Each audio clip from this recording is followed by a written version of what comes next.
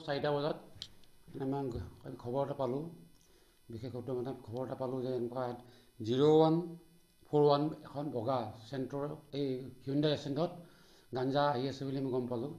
গম পোৱাৰ লগে লগে মানে ইণ্টেলিজেঞ্চ অফিচাৰক খবৰ দিয়া হ'ল।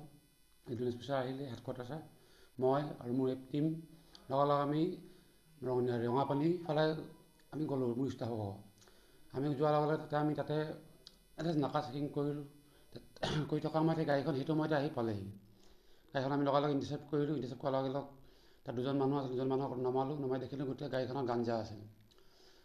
গাঞ্জাটো পোৱাৰ পিছত তেওঁলোকক আমাৰ কাষ্টডিত ল'লোঁ দুজন মানুহ। তেওঁলোক কৈছে এজন হ'ল আৰু এজন হ'ল আপোনাৰ এইটো নাম? তেওঁলোক ৰাতুল ৰাতুল আলী। হা আৰু এজন হ'ল আপোনাৰ চাই দিছোঁ তাহিদ আলী তেওঁলোকৰ দুয়োজন ঘৰ হ'ল হাজো। হাজো আপোনাৰ উখুৰা গাঁও বুলি কয় হাজোৰ।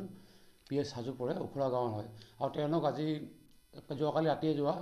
তেওঁ অৰুণাচলৰ যাৰ নামটো তেওঁলোক ঠিক ক'ব পৰা নাই অৰুণাচলৰ পৰা অনা বুলি কৈছে আৰু তেওঁ গুৱাহাটী অভিমুখে তেওঁলোকে গৈ আছিলে। মোৰ বিশেষ সূত্ৰৰ মতে পাইছোঁ এইটো। আমাৰ বিশেষ সূত্ৰ পমখেদি আমি যিটো আমাৰ নিজৰ হেৰি মানুহ থাকেই অলৰেডি খবৰ দিয়া। আৰু এনেকুৱা অভিযান অব্যাহত থাকিব নেকি?